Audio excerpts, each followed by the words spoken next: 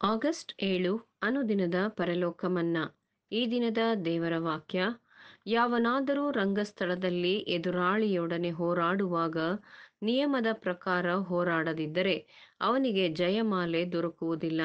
ಎರಡು ತಿಮೋಥಿ ಎರಡು ಐದು.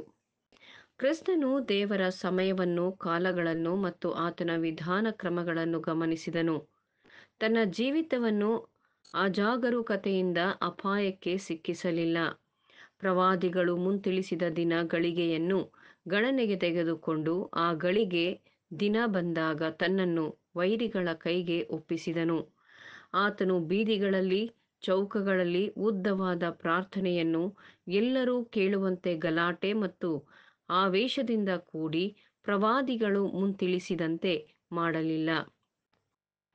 ಏಷಾಯ ನಲವತ್ತೆರಡು ಎರಡರಲ್ಲಿ ಹೇಳಿರುವಂತೆ ಕೂಗಾಡಲಿಲ್ಲ, ಆರ್ಭಟಿಸಲಿಲ್ಲ, ಈತನ ಧ್ವನಿ ಬೀದಿಗಳಲ್ಲಿ ಕೇಳಿಸಲಿಲ್ಲ.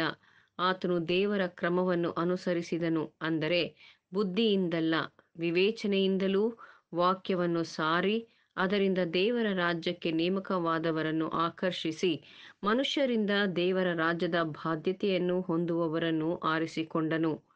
ಯಾರಾರು ಈ ಓಟದಲ್ಲಿ ಭಾಗವಹಿಸುವರೋ, ಅವರು ಕರ್ತನು ಹೆಜ್ಜೆ ಇಟ್ಟಂತೆ ಹೆಜ್ಜೆ ಇಟ್ಟು ಆತನ ಆತ್ಮದಿಂದ ತುಂಬಿದವರಾಗಿ ಓಡಿ ಜಯಮಾಲೆಯನ್ನು ಪಡೆಯುವರು. ಆಮೇನ್.